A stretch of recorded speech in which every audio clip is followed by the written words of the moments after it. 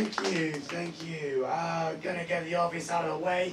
Question I can feel is on all of your guys' minds. Why does that guy's voice sound like the love child of Bane and Kermit the Frog? And the answer is the other day I was at a karaoke bar and I didn't want to sing. And then someone put on Complicated by Avril Lavigne. then I had an invasive brain surgery that damaged my vocal nerves. I think that's what did it. Um, I did, I had the surgery. Other symptoms of the surgery uh, include short-term memory loss, a big juicy dog drug ass, short-term memory loss, and uh, double vision. So, pretty crowded room tonight, guys. Surprising number of twins in the King's Cross area.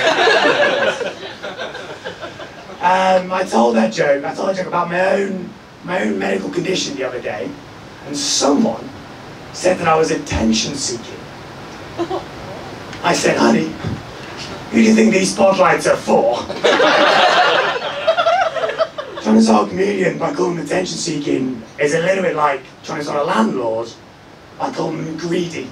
like I know that's why I'm here. Um, I love my landlord. Who, who loves their landlord? Think so. What the fuck? I've never had that reaction before. Who rude?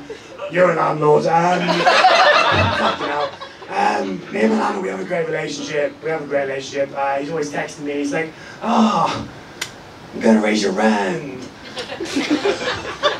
so I'm like, don't do that. Um, but we have a good relationship, so he compromises. Uh, and he's going to raise my rent. but to compromise, he is also not going to fix the mold in my ceiling. nice. Um, talking off my surgery, uh, as we were, um, I was going into the surgery, and I was told there were two options, right? Two options.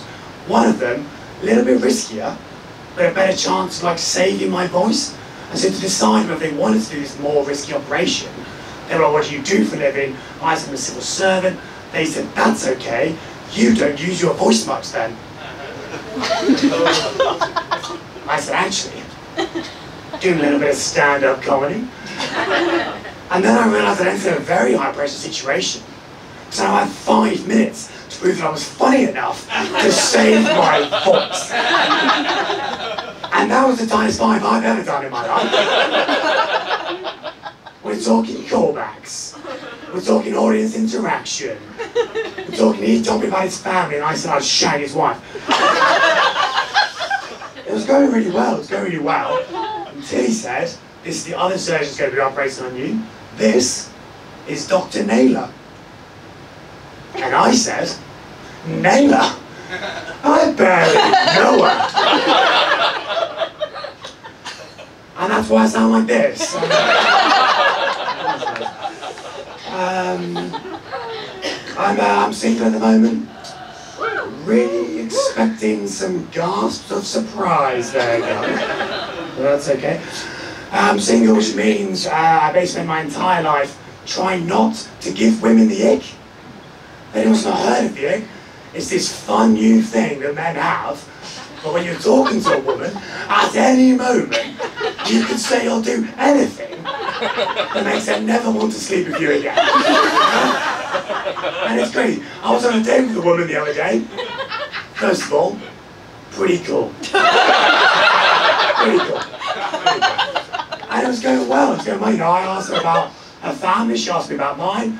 I gave her a shot-for-shot run through the Lord of the Rings trilogy. it was going well. She was going back to mine until I gave her the ick going down the stairs of a double-decker bus. While we're on the topic, whose idea was it to put fucking stairs on a moving vehicle? It's crazy, we've been convinced by big bus that is in some way a normal way to act. But you might think, you might think, well if there's stairs in a vehicle, at least I'll wait to be like seated and belted before they move. but you'd be very wrong. Those mirrors on the stairs, and also you can look down, so the bus driver can look up and see where you are your most vulnerable. I'm talking one foot in the air, one hand on your phone, one hand on your kebab. So the perfect time to slam on the brakes, send you flying down the stairs, embarrass you in front of your date. And guys, I have double vision. It's twice as hard for me. I'm seeing two sets of stairs, four feet, and eight kebabs. You do that. Thank you very much.